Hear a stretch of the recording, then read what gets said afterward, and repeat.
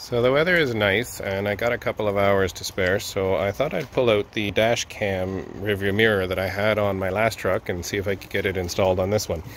Uh, the mirror is uh, an Awesafe one. There's a new model available now but they're basically the same thing. You've got the camera itself which you can actually screw to the back of the mirror part and then mount right onto the glass or you can use these little straps and these little clips you you screw these to the back of the mirror and then with the little clips on either side you strap it over the existing mirror on your car truck. Um, I like the more OEM look of this so we're going to be putting that back in.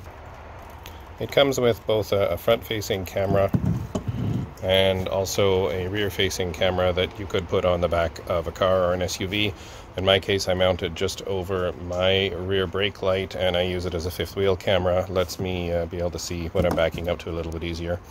Uh, lots of cable to run from front to back.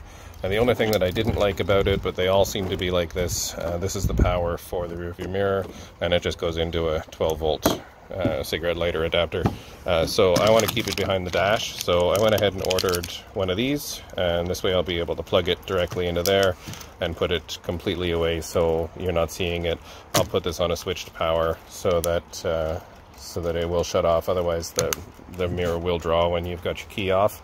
Uh, I might lose some memory settings doing that, but there's really nothing to set up each time. So we'll try it and we'll find out. So First thing to do is to get the stock mirror off the window and uh, we'll do that now.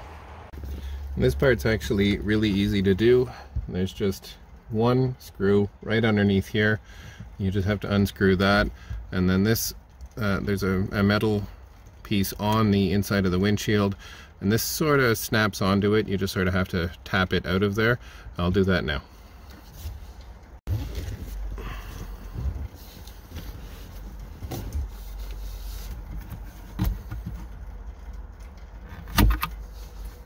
Just a three wire plug I'm guessing.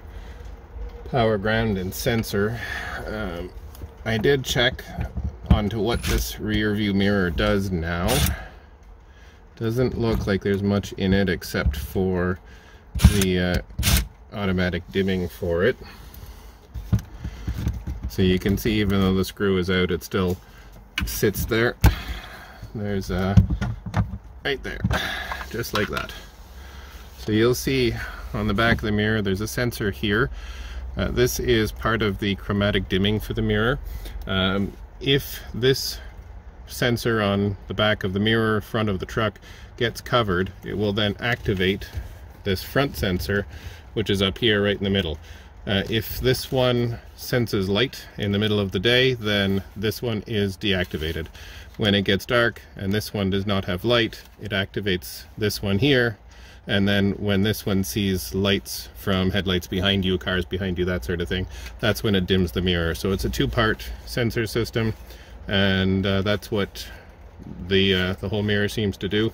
So it shouldn't really impact anything that I'm taking out the OEM mirror. Uh, I already ran it for several hours without that mirror plugged in, just to see if any codes came up or any uh, trouble, um, anything on the dash came up to tell me that it didn't like it.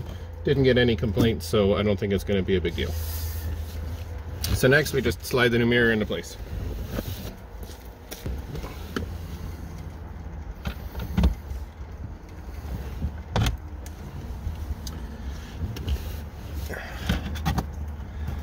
Looks like this wants to come off first. Just like that.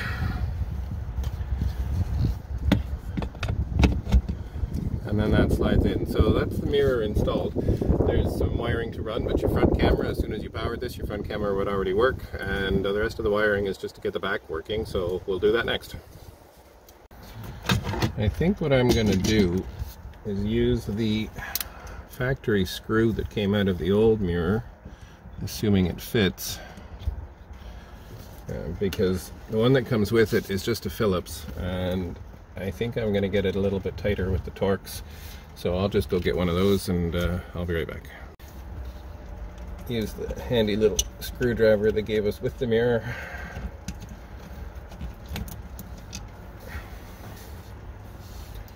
Put that there.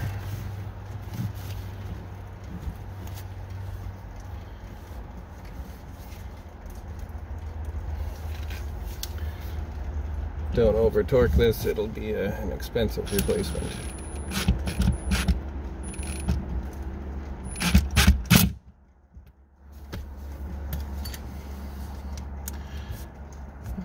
Pretty good there. So I don't really want to get into playing with this factory plug here. I don't want to damage it and I've got lots of wire and no need to. So we're gonna stuff that up out of the way here. Find a new home for it. And then we have two wires that need to be run. One goes the back for the rear camera. And the other one is power for the front camera. So we're going to start with the rear camera feed and it's really quite simple. There's just a plug on top right there in the middle. And your power is right beside it, which is a bit of a, an old school USB. And you just plug that in there. And now we have our two wires. So they basically will just hide right along the arm of the mirror there. You can tuck them up inside and run them around the edge. I'll do that next. So you don't really need to take the roof liner out for this. There's a gap up there, and if you pull on it gently, you can get your wiring in there without any trouble.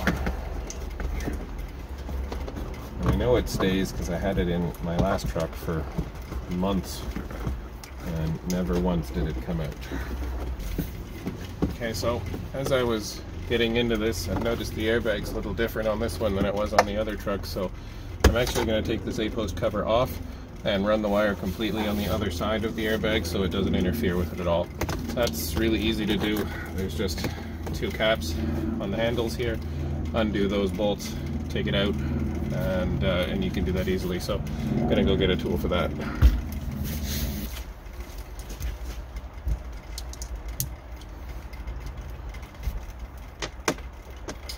Those ones are easy. They're just a 10 mil.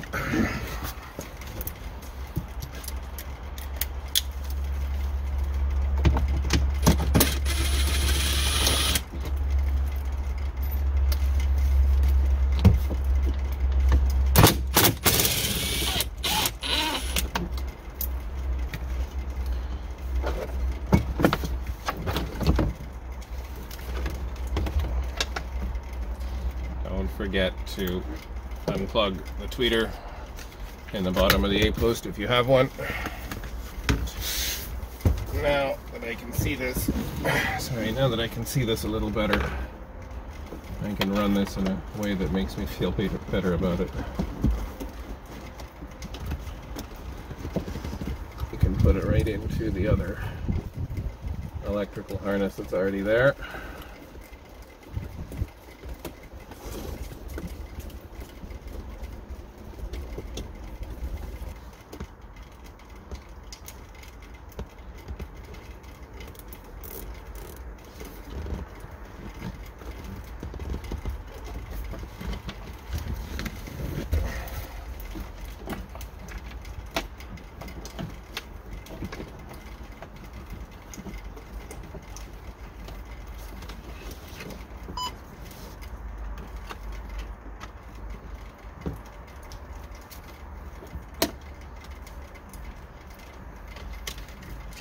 Once you get in here, it's really very easy. The power wire, you want to get into the dash. And the rear camera wire, you want to run along the floor and go to the back. You could do it inside the roof liner too, but it's just easier inside the floor or along the edge of the floor here. All the panels just pop off.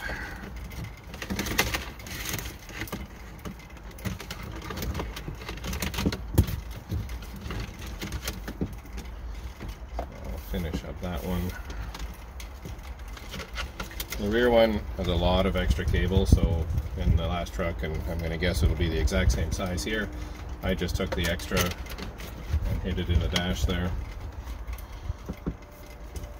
And then just kept on going around the edge.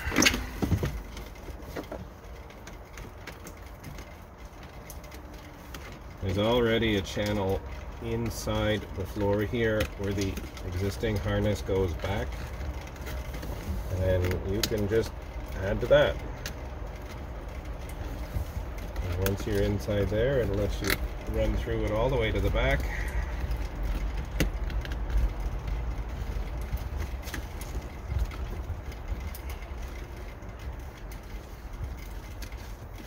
And it makes it a very easy install.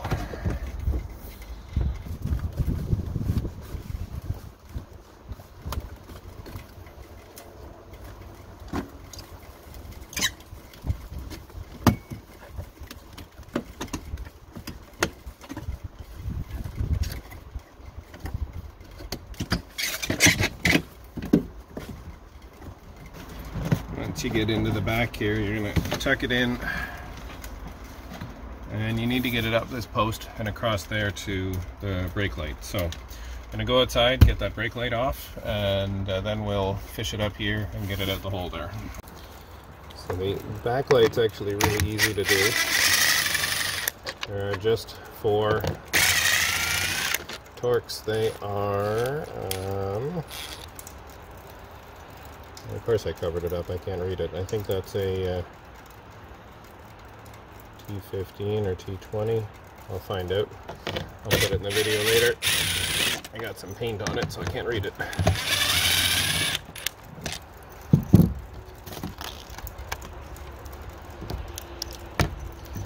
There's lots of room to work here, so now that this is open, there's a great big hole right there.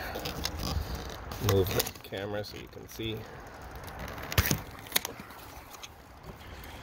A great big hole right there which gets you down into the cab. There's the top of the roof liner there. So you're just going to fish that cable up through and back out here. I didn't uh, bother taking out the roof liner. I just pushed it up in there. And then with uh, any old pick tool or your finger there you go. One wire. Now let's go finish tidying up the inside and then we'll, we'll be back to do this. So when I got to this part, there's a couple of things. First of all, this red wire is for the automatic switching on your uh, backup lights. So if you put it in the reverse, it'll automatically activate the camera. I don't want that. I'm just fine with my mirror. So this part is unused I'll uh, get a twist tie and or a zip tie and, and clean that up. The rest of it, you actually just need to plug in your camera wire here. It is keyed. There's a little dot on there so you can't really screw it up. And that'll all go in there and then we're going to stick this on. I'm just going to go and get a zip tie so I can tidy that part first.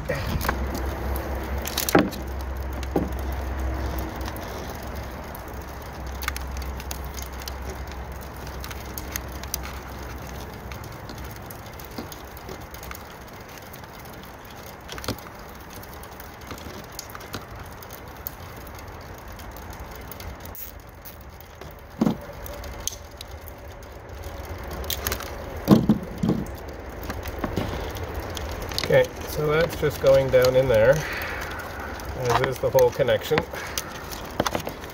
The only part you need out is a little bit at the end here.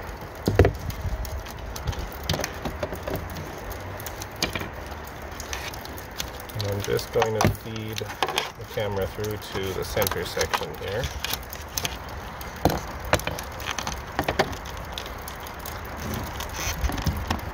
So that can go back on. Now, what you do here is really up to you. In my case, to give you screw holes and screws, I'm not putting more screws in the roof of my truck. Um, I actually inverted the bracket that was on here. uh, because it was on the other way and it wouldn't let me bend it down far enough to see my fifth wheel. So I pulled off the bracket, screwed it back on the other way, and it lets me stick it right on the back of the window here just using some double-sided tape. And uh, I found that gave me the best view of what I wanted to see. And I'll just position it about there, and then we're going to put it all back together.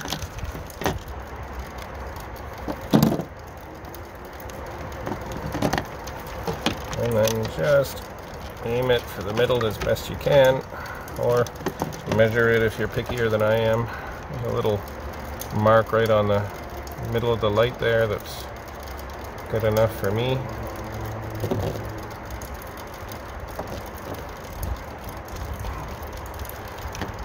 And the screws that are there are tight, but not so tight that I can't still adjust it a little bit. Need your wire inside. Do those screws back up.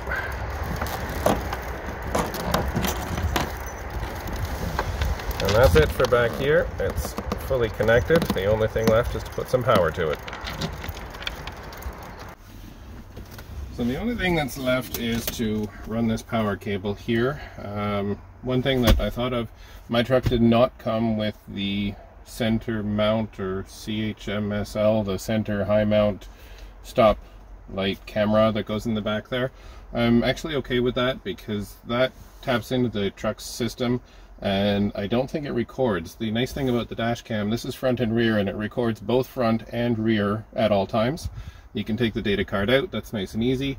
And what I'm going to try to do is you can buy aftermarket um, stoplights that can go in that position and I'm going to see if I can find just the camera and tap it into this. It's just a, a two wire I'm going to guess and uh, I'm going to see if I can fit that right in there. I'll do that in a later video.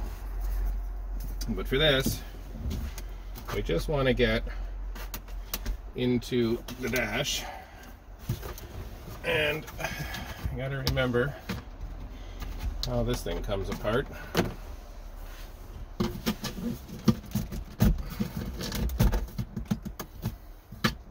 The center section pops out if you can get in there. I gotta get a tool, one second. I have a, a trim tool that I got on Amazon. I'll put a link in the description. I'll put a link to the camera in the description too.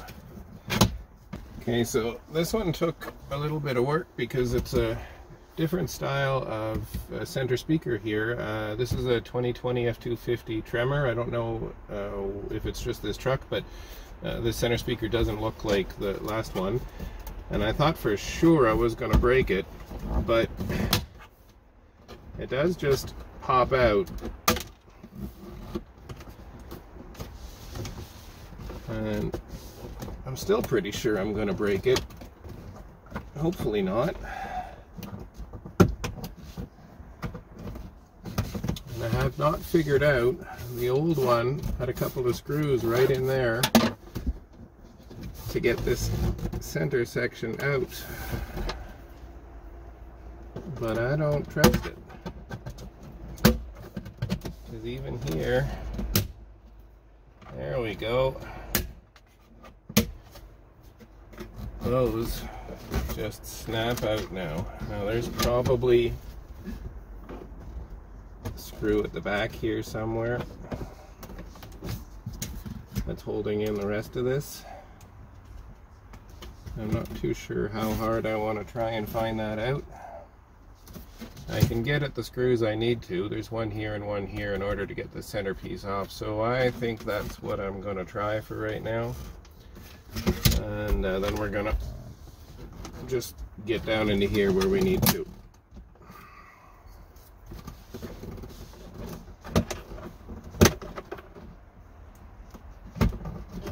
You can see the rear clips back there, but the, the top section isn't attached to the bottom section very well, and I feel like you get into that too far, you're to break that. So, that said, I'm just going to go with what I know and just take those off. All right, so that is a seven mil.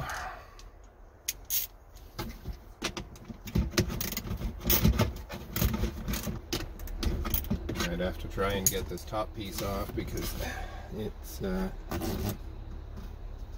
kind of a pain. Yeah, I can see it's screwed in at the back, which means that's got to pop out. I'm gonna try something else.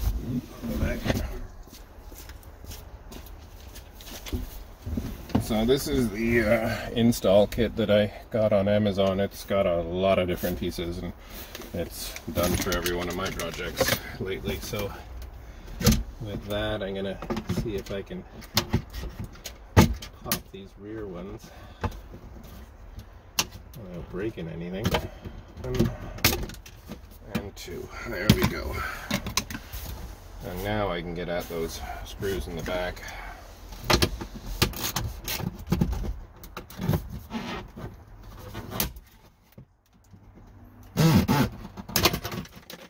And there we go.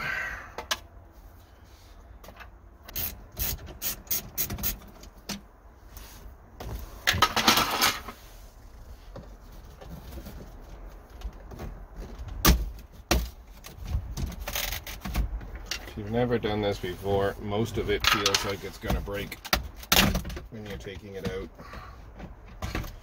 Only freaks you out a little bit. You really only need to unclip the top ones here.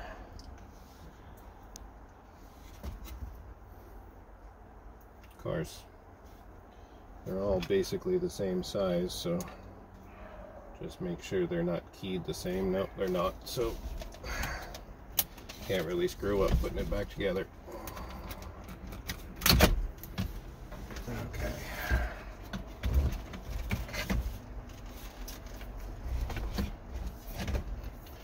So you can tap it right into your 12 volt if you want.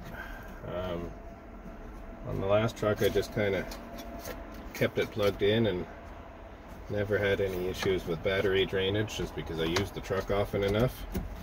If you're someone who lets your truck sit for a while, then I would suggest you don't run it in with 12 volt all the time. But there's my wire right there. That's what I want to get into. I've got a positive and a negative right there. I can tap into that with my 12 volt adapter here.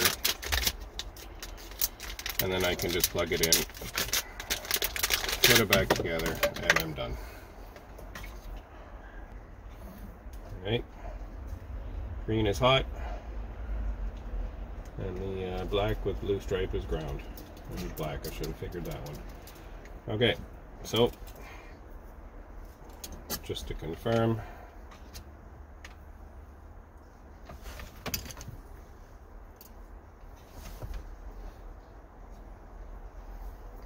ground, and there we go. Okay, so we're to tap into those two and then put her back together.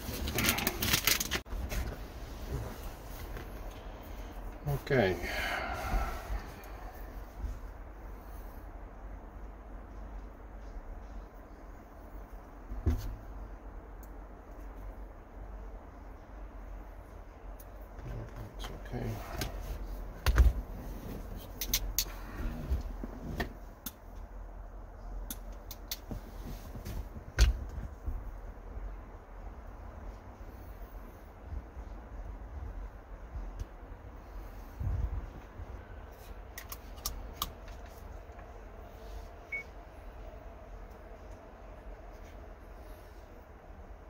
There we go. You can see the rear camera works. Looking at the mess in the end of the box there right now. Uh, no playback right now. I've got some cleanup to do because it's been a little while since I've used this. And there's our front camera. So, we're all set. Now we just got to put this thing back together. So uh, I'll do that and I'll be back.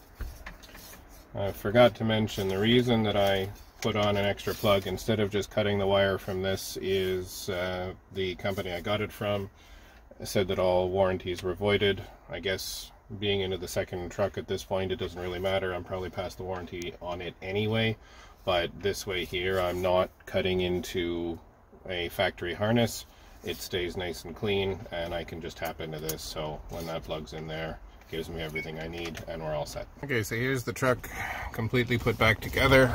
It's a little hard to see in a mirror there, but that's the uh, the box that we're looking at there. You're sort of getting video and reflection at the same time. Uh, there's a button there that lets you switch between front and rear cams. And I just gotta set the clock on it. There's a clock right on screen here.